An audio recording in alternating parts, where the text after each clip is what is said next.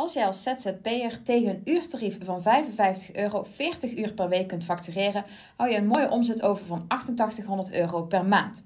Maar hier hou je netto 5100 euro per maand van over na belasting. Ik ga je in dit voorbeeld laten zien hoe ik daaraan kom. 88 euro per maand is 105.000 euro per jaar. Hou er dus even rekening mee dat je in dit geval geen vakantiedagen hebt.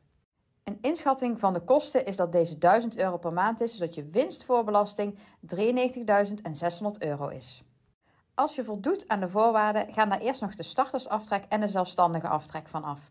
Daarna wordt de MKB winstvrijstelling hiervan afgehaald, zodat je belastbaar inkomen 74.000 euro is. Hierover wordt vervolgens de inkomstenbelasting in box 1 berekend.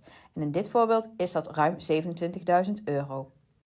Dan heb je nog recht op een stukje algemene heffingskorting en een tariefsaanpassing.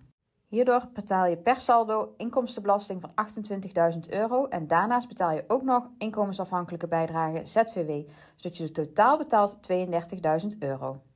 Netto hou je dan 61.000 euro over en het is netto per maand 5100 euro. Wil je dit nu voor je eigen onderneming kunnen berekenen? Download dan de template opzij zetten voor je belasting 2023 op thehappyfinancial.com/shop.